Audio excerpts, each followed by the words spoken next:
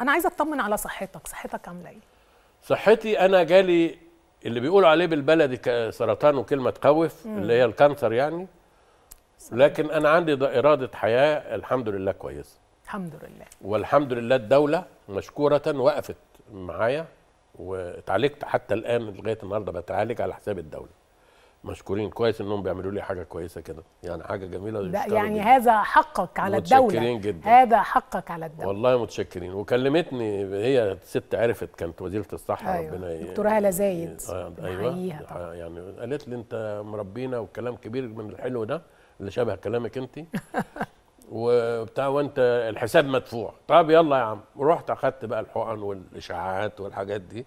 وأديني جاي أهو على رجليا لكن شوقي. حجاب يملك إرادة يعني عنده ال- ال- ال- المقاومة دي. آه يا حبيبتي أنا بقول للشعب المصري وللإنسانية عموما. الناس اللي ماتت دي ماتت لأن ما عندهمش إرادة حياة. زهقوا بقى وقرفوا.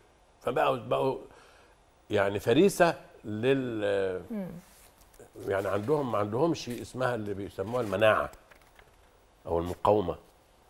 ال- المناعة يعني الواحد لو فقد مناعته الإنسانية والفكرية والحياتية والرغبة في الحياة وجمال الحياة وأن طري تشوف الدنيا بعين طفل فعلا بريء بيفقد الرغبة في الحياة.